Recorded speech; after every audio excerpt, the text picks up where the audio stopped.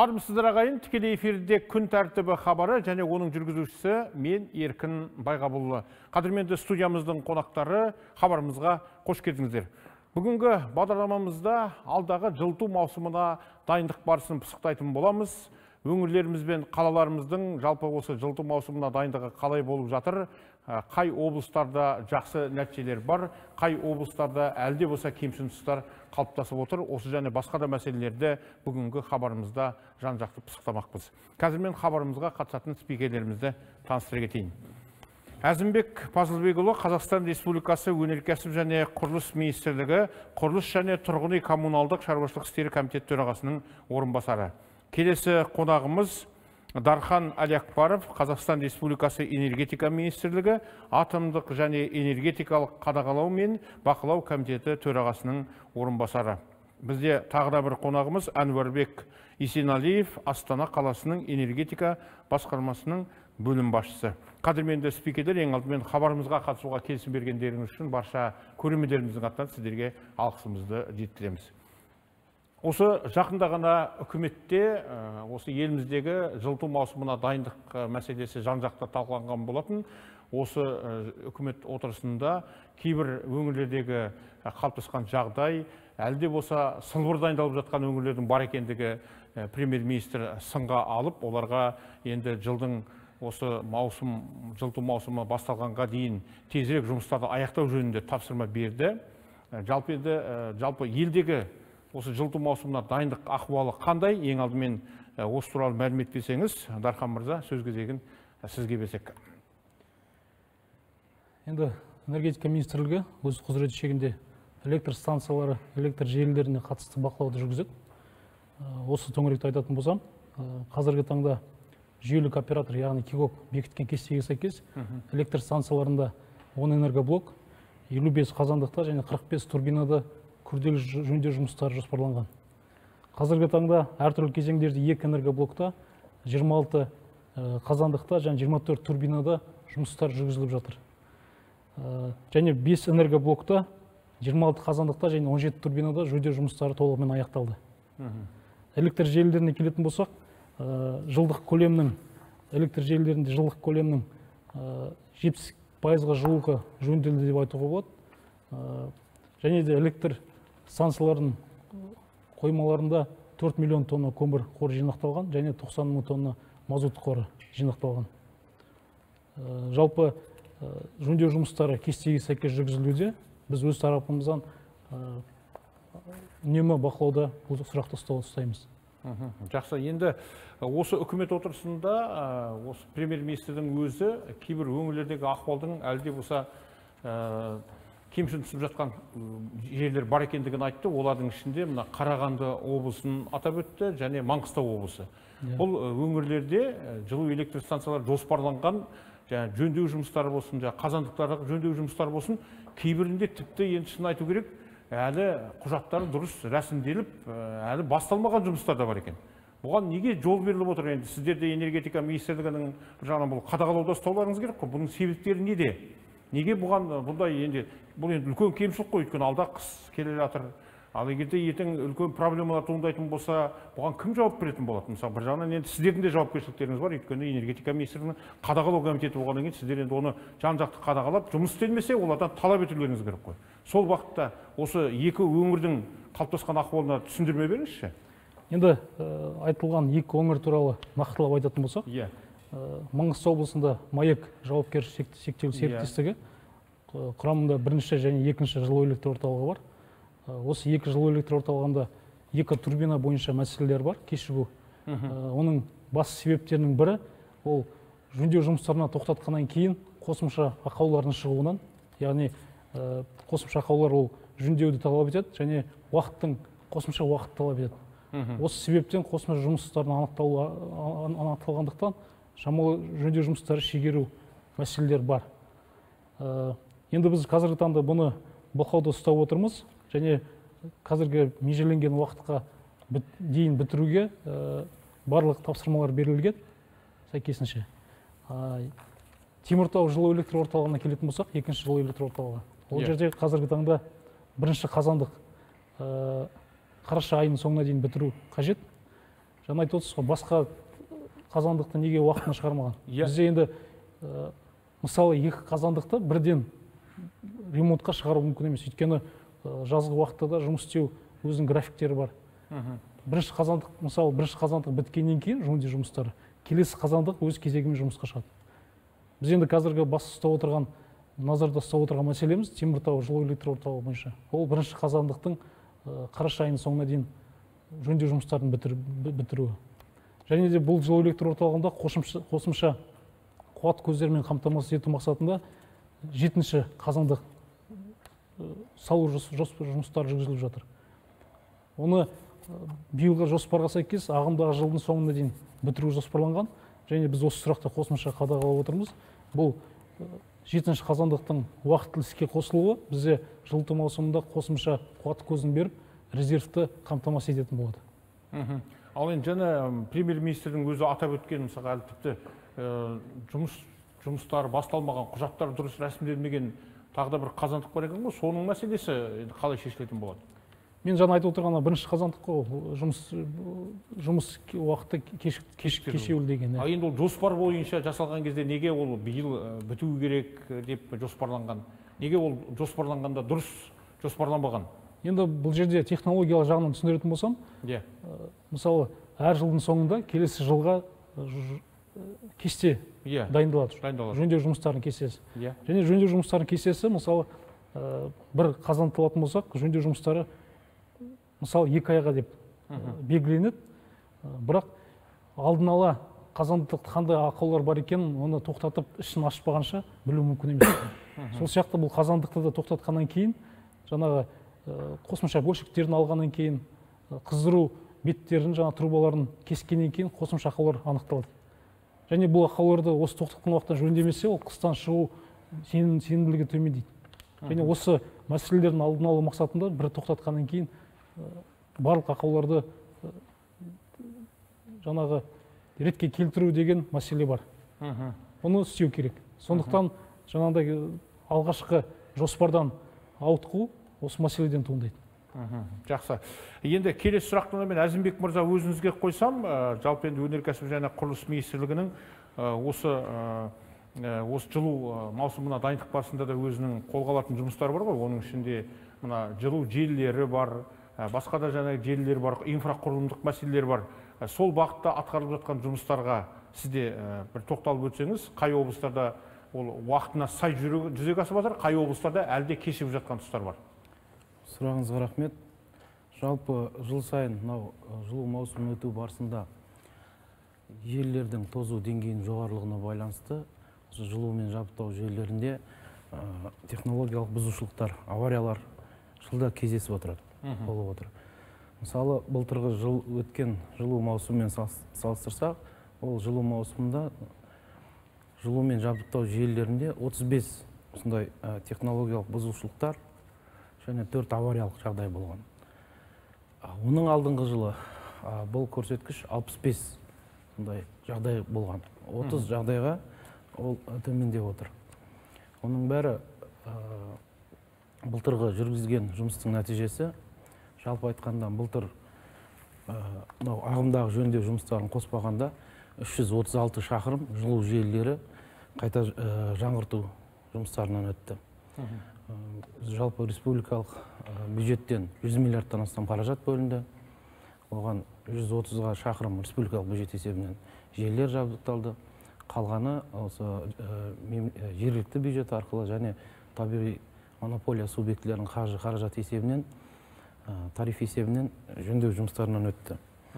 Ә, бұның бәрі ә, сұрағыңыз өте орынды.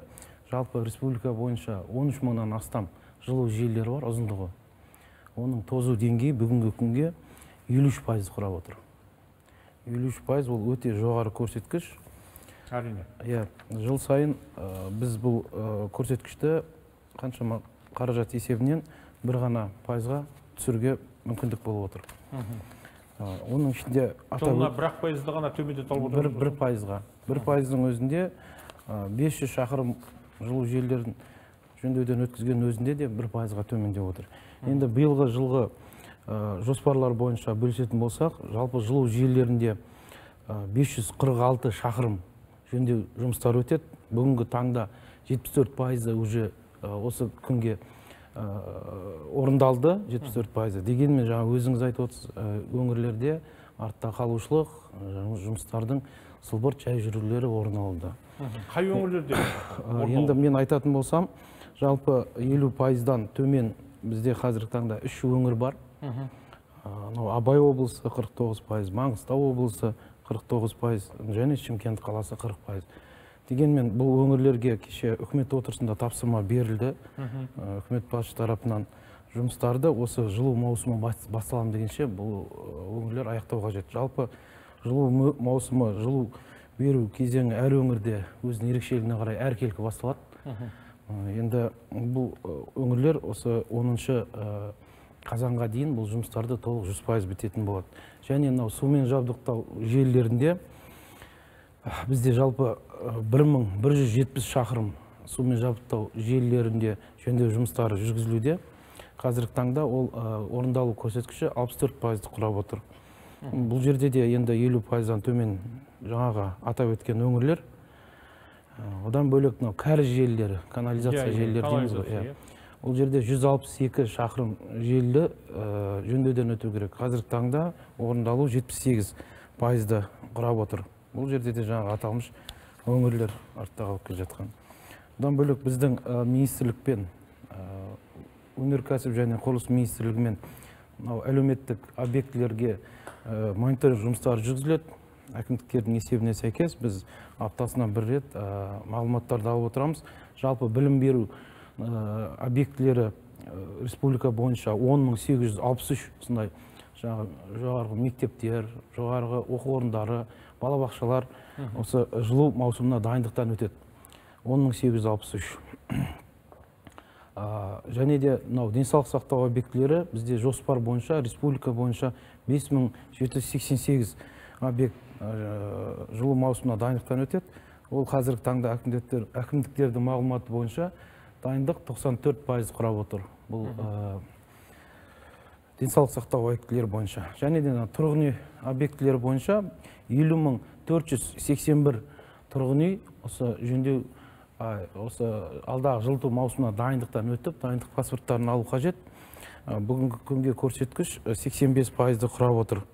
Жалпы ә, бұл жағдайлар біздің министрлікпен және мынау энергетика министрлігімен жалпы бақылауда. Өзіңіз білесіз үкімет отырысын биыл қанша мәрте осы сұрақпен үкімет отырысы өтіп жатыр? Иә иә бірнеше мәрте өтті Иә. ғой. Жалпы қазіргі таңда дайындық жұмыстары әлі де жүргізілуде. Жақсы. Және сіз атап өткен мысалға облыстардағы кешіктіріліп жатуы және айтып отырсыз ғой елу пайыз ғана дайын қырық тоғыз пайыз ғана дайын өңірлер бар екен ғой. Олардың негізінен бұл кемшіліктер жол беріп отырғандардың себептері неде? Бұған қандай кедергілер олар кедергілерге тап болып отыр немесе олар дұрыс ұйымдастыра білмей жатыр ма бұл шаруаларды? Бұның себептері неде? Негізгі негізгі себептерін атап өтіңізші. Енді негізгі себептері енді бұл жерде басты негізгі себебі ол біз ойлаймыз басқарушылық менеджмент дұрыс ұйымдастырылмаған. Облыстағы ма? Осы энергетика саласына қатысты энергетика саласына жауапты ә, облыстағы мекемелер осы жұмысты қадағалау керек. Ол мекемеге дейінгі жаңағы табиғи монополия субъектілері ұйымдастыру керек. Және де мынау әр күрделі жөндеу жұмыстарын құрылыс жұмыстарын ол конкурстық рәсіммен мердігер мекемелер жүргізеді. Ол жерде де әрқандай республика бойынша ә, мекемелер бар мердігер мекемелер. Біреуі жаңағы жауапты біреуі жауапсыз. Ә, соның бәрін қадағалауды күшейту ә, қажет етеді. Жалпы жұмыстар ол кемшілік тұстары осы деп ойлаймыз. Жақсы. Ә, онда мен келесі сұрақты тағы да әзімбек мырза ә, өзіңізге ә, қойып жатырмын ғой. Енді тағы да бір мәселені атап өтейін.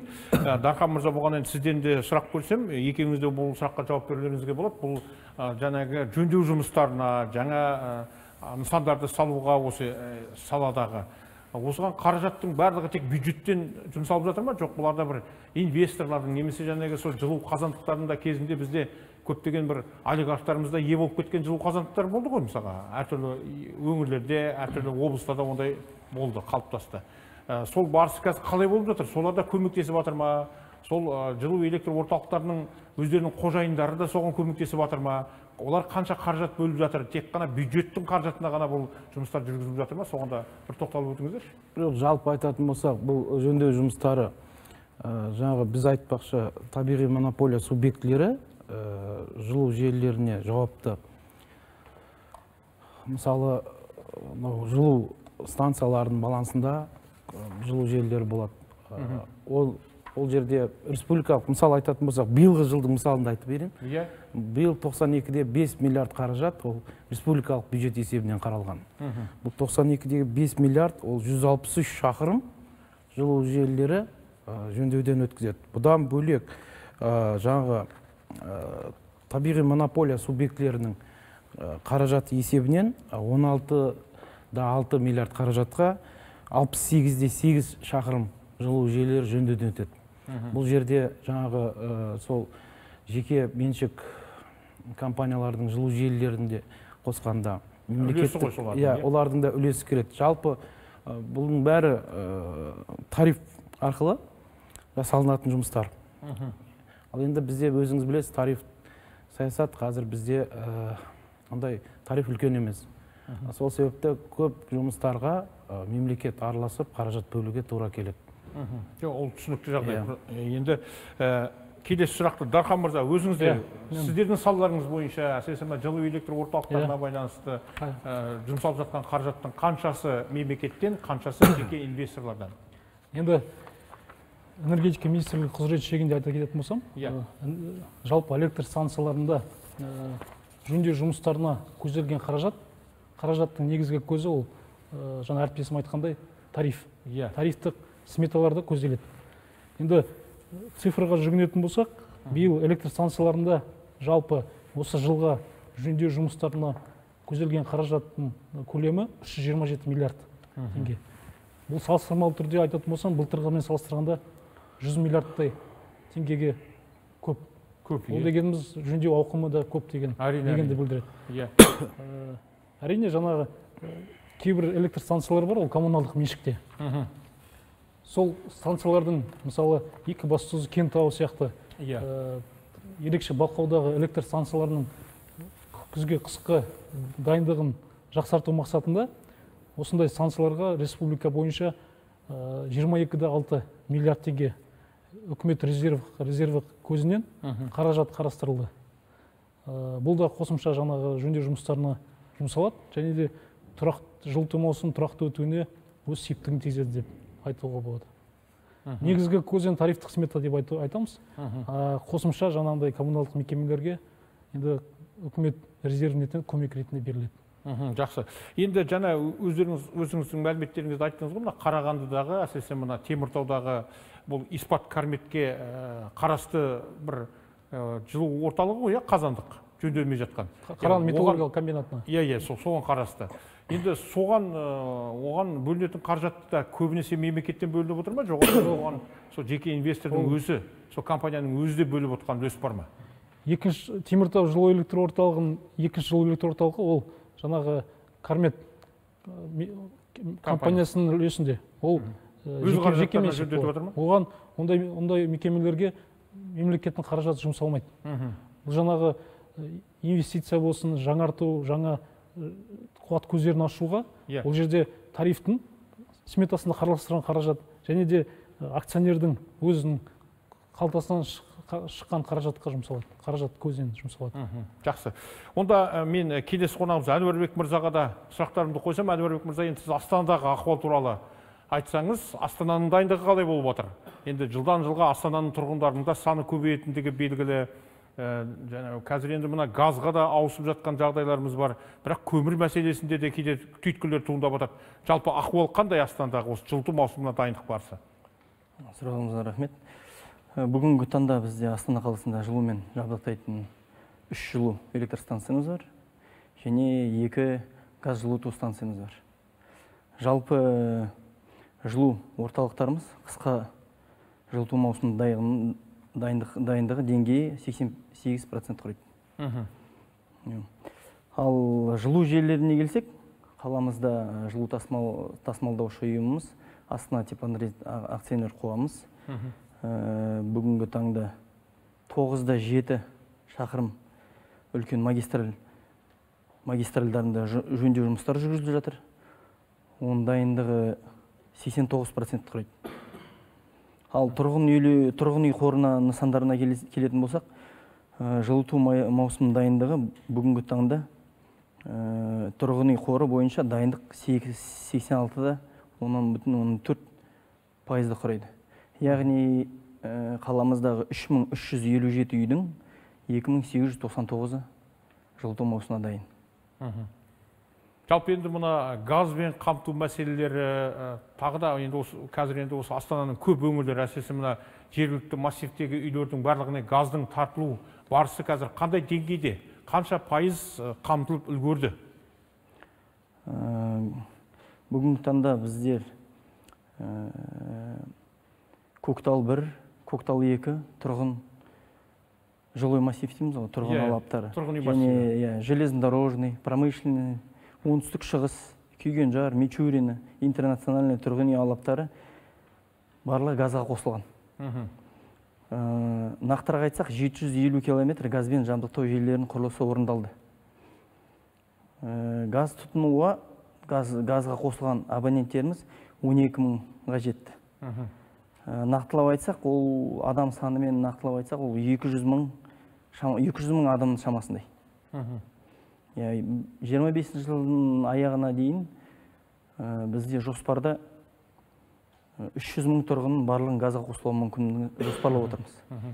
Ә, сонда қазіргі осы газбен қамтылу пайызбен айтатын болсақ қанша пайыз қамтылып тұр? Әлі қаншасы бар?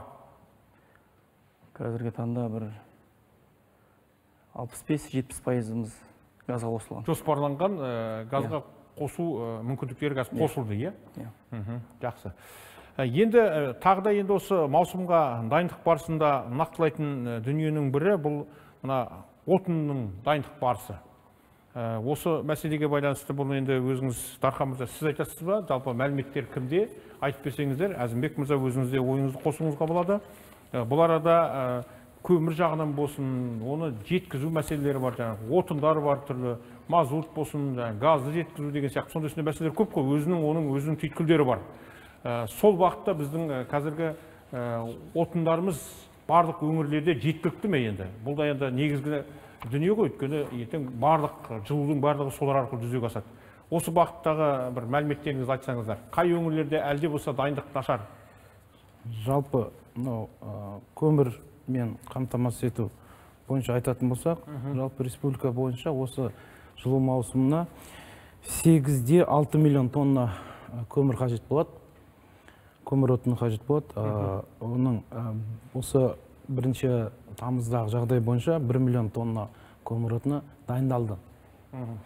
Оның ішінде ә, 8-де 6 миллион тоннаның халыққа 6-да 3 миллион тоннасы қажет. Ал басқа коммуналдық тұрмыстық жағдайларға 2-де 3 миллион ә, тонна көмір отыны қажет болады. Жалпы біз өткенде үкімет отырысында көрсеткен болатынбыз. Жалпы жоспар қанша? 12 пайызға орындалған. Бұл жерде мәселелер бар. 12 пайызға ғана орындалып отыр ма? төменгі көрсеткіштер ә, бұл шығыс қазақстан облысында ақмола облысында мына біздің астана қаласында абай қарағанды облыстарында. Ә, енді бұл бойынша нақты тапсырмалар берілді. Ә, өздеріңіз білесіз былтырғы жылы ондай бізде проблемалық жағдай көмірмен болған жоқ. Иә ондай ондай. тапшылық бұрын болмаған еді иә былтырғы жылдары бұл, қалыптасқан бұл жоқ. министрліктің біздің себептері неде бұл біздің өнеркәсіп комитеті бар. Бұл осы көмір отын өндірісіне жауапты. Ол кісілермен қазір қатаң бақылауда. Министрдің жеке бақылауында бұл мәселе бойынша күнделікті қазір тапсырмалар беріліп отыр. Бұның жалпы себептері мысалы біздің кейбір өңірлерде халық асықпай көмір отын тақалған кезде мынау жылу маусымына кірген кезде сатып иә. алып жатады. Күздің кезінде қыстың алдында деген сияқты иә. иә. Ал білесіз ә, кейбір өңірлерде ол көмір тупиктері аз. Иә. Иә. Сол кезде кезектіліктер орын алады сондай жағдайлар болады. Сонымен кішкене мәселе ушығып жатады. Ал қазір жаңағы ерте бастан қамданып ерте ә, жағдайларын жасаса бұндай ажиотаж бұндай мәселелер болмайды деп ойлаймыз. Және де мынау автономдық қазандықтар бойынша бізде де мониторинг жұмыстары жүргізіледі. Ә, жалпы бізде 12 мың жарым автономды қазандықтар жылу маусымына дайындықтан өту қажет. Қазіргі таңда 91 пайызы уже дайын, дайындықтан өткен. Бұл автономды қазандықтар бір екі үш ә, жеке тұр, ә, тұрғын үй кешендерін жылытатын жеке қазандықтар ғой. Бұл жерде де көмір отынына қажеттілік бар. 68 пайызға қазір орындалып отыр. Ә, мазут отыны ол жақта бізде жоспар бойынша 9 8 мың тонна қажет. Бүгінгі таңда 99 пайызын уже ә, дайындық бар.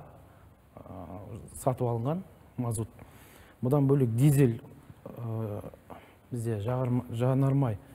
Ол ә, 54 мың тонна автономды қазандықтарға қажет. Бүгінгі таңда 65 пайызы орындалып уже сатылып алынды. Жалпы бұл автономды жеке автономды қазандықтар бойынша жұмыстар жүйелі жүріп жатыр. Халықты шақыратынымыз жаңағы көмір отынына ертерек алып қысқа дайындықты уже жасау керек. Жақсы. Енді ә, бұл арада тағы да көпшілікті алаңдататын сұрақ бұл көмірдің бағасы сол бұрынғы қалпында қала ма тұрақты бола ма? Соған да бір жауап бере кетсеңіз. Көмірдің бағасына мен қазір комментарий бере алмаймын ол көмірдің бағасы менің құрылыс қазіргі қазіргі деңгейі мысалға сол бұрынғы қалпында тұр ғой иә? қазіргі таңда иә бұрынғы қалпында ондай ажиотаж ондай проблемалық мәселелер көтеріліп жатқан жоқ.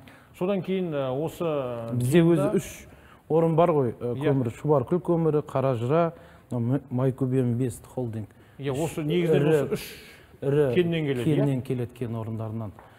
Ә, пока ондай қазіргі таңда проблемалық мәселе көріп отырған жоқпыз.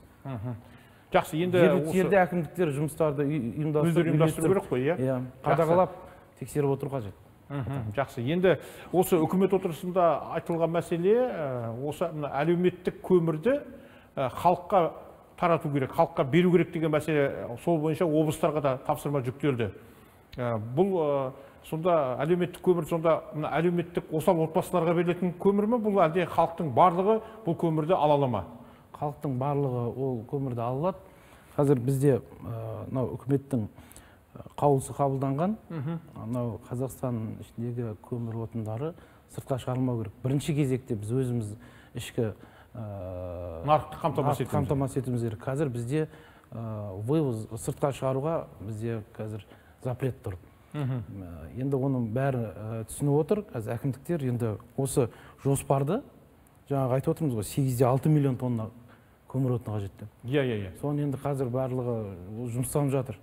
Енді дегенмен көп мұны операторлар бәрін білесіз бәрі жеке қазір. Иә иә жеке операторлар ол тупиктеріне алып келеді. А, баға қазір тұрақты. Енді жаңағы айтқан мәселе ғой. Иә. Көп жерде ондай көмір сол қыстың алдында аз. кішкене ажиотаж болып кетеді сол кезде бәлкім көтеріліп кетуі мүмкін иә? Енді қазір ондай жағдай байқалмайды енді. Негізінен көмір жеткілікті болса ол көтерілмеу керек қой. Жалпы көмір өндірісі көмір отын өндірісі бізде жеткілікті. Енді соны қамтамасыз етуіміз қажет. Жақсы. Енді келесі сұрақты мен әнуарбек мырза өзіңізге қояйын. Жалпы және ә, осы көмірді қамтамасыз ету жағынан астанада да кемшіліктер қалыптасып қалды деген мәселе айтылып отыр. Ол үкімет отырысында да атап өтілген болатын. Енді бұл астанада бұрын соңды бұндай проблемалар болмайтын еді ғой. Бұның себебі неде? Неге бұл қазіргі осы уақытқа дейін бұл көмірмен қамтамасыз ету мәселесінде енді пайыздық жағынан алғанда сіздердің көрсеткіштеріңіз төмен болып тұр? Себебі неде? Біздер қазір қазіргі таңда жаңағы жекеменшік үйлерді газға ауысып жатыр ғой. Иә. Соған байланысты көмір де ондай бірақ ондай жетіспеушілік көмірі деген ондай жоқ бізде. Бес жүз жетпіс үш мың тоннадай бізде барлығы жаңағы топиктерде барлығында бар. Жаңа Жеткілікті. министрлік те биылға. айтты ғой мысалы мәлімет ретінде.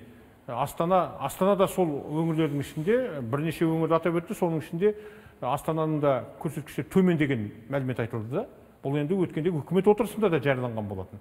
Бұларда да бір түйткіл бар сияқты. Әлде газға көшкеннен кейін адамдар Ол- сол адамдар жаңағы газға көшкеннен кейін топиктерде жаңағы көмірлері тұрып қалады ғой. Сол себептен шығар.